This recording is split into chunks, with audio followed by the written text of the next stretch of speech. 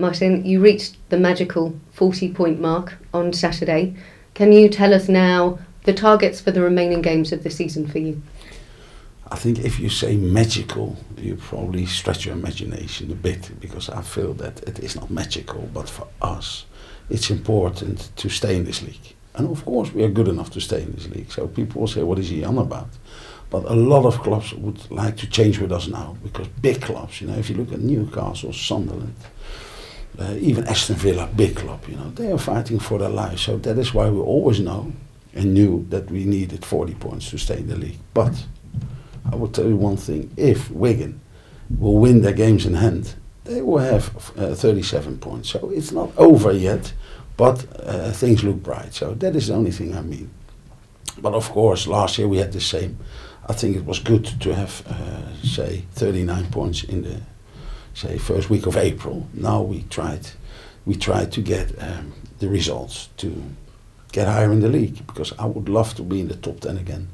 And of course, the fans would love to see us in the top 10 again. But we've got uh, Everton, we've got Arsenal, we've got Chelsea, uh, Swansea away last game, Reading at home. So we've got a quite a, a heavy program, you know. So uh, it's exciting, but I hope that we will have uh, 50 points at the end. With that difficult run in, how important has the league form been since that turn in fortunes at the beginning of the year that has put you in this position of, of 40 points now, being able to look up the table rather than down? It's the, probably the strongest league in the world because if you look at us before the Spurs game, you know, uh, we knew that a result will help us, but we always focused on the game against QPR. So it helped us big time to be on 36 points. Can you imagine not to win that Spurs game? You know, we still were struggling a bit. So uh, we do well because if you look at us uh, months ago, I think Swansea was 10 points above us. Stoke were, you know, uh, I think 9 or 10 points above us. So to be one point below Swansea is a big achievement. So I'm very happy. And of course, it's a normal thing. We had a meeting yesterday and we spoke about it. We said, you know, we should be happy, you know, we should be satisfied that we reached what we wanted to achieve. And first target was to be on 40 points. And uh, we are. So now we have to uh, kick on and try to make it a very good season. You had a very different midfield on Saturday, and then obviously had to make an even further allowance when Damien Duff was injured so early on. How is he, and how do you think things will shape up for tomorrow evening's derby? we feel that we had to change our midfield all the time. It's not about the two, it's about the four in midfield, you know, plus the one who plays in the hole. Bryan Ruiz, for example, we had to change a different role.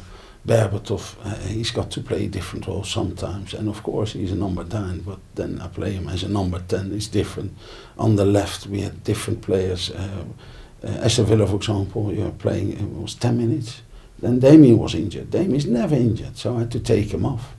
Uh, things look bad, but now after a scan, I think it's better than we expected. So hopefully, hopefully, he could join us uh, against Arsenal, but it's 50-50. But it looks better than we thought. So uh, you're right. In midfield, Enoh played, Frimpong played. Uh, Giorgio who was not a regular start of the season, came in, and I think he brought, you know, he brought us a, a lot. You know, we started to play and of course, he's a bit older, but he plays with his heart. Sometimes I take him off, and he's not happy about it. But I think he was a very important player for us. But yeah, we had to change it a lot of times, and that is probably not what we what you would call a settled midfield. But as long we we played with um, Giorgio Karagounis and Sidwell, we had Damien Duffers on the left. That was different. Ashkan Dejagah on the right, and we picked up the results, and that was needed in hindsight. You know, we needed all these points, and and, and so we did well over the last couple of weeks. We had to change it again. Sidwell is out, still suspended. Uh, Damien can't play, Ashkan can't play, so we have to change it. But we will try to uh, attack them tomorrow. We will come up with something, you know, that uh, although we miss these players, good players, um, key players, we will come up with uh, with a, a lineup who hopefully can cause some problems. And I think we uh, we, we we will uh, try anything to get the three points even without very much football, Enoh has looked a very good combination with Giorgio in that position. Uh, Enoh probably played in the same style as Sidwell. Sidwell, of course, is a bit more offensive, but we need him in midfield, you know, to be strong, uh, to try to do something off the ball, and uh, of course on the ball they are good. So uh, I knew Enoh. Uh, he didn't play a lot of matches, of course. Um, he came here. I told him you have to play in the reserves. You have to get fit because that is the main thing in this Premier League, uh, Barclays Premier League, you have to be fit. And if you are fit, you will play a role for us. And that is exactly what he did, you know. Uh, a little step back against Newcastle when I had to take him off because of that injury, but he wanted to play.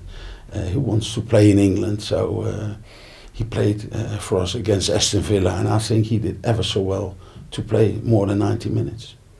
And just finally, a word on how important tomorrow night is A for the fans and B to get past the 40 points and to really push on, hopefully, to cement that top 10 position for the end of the season?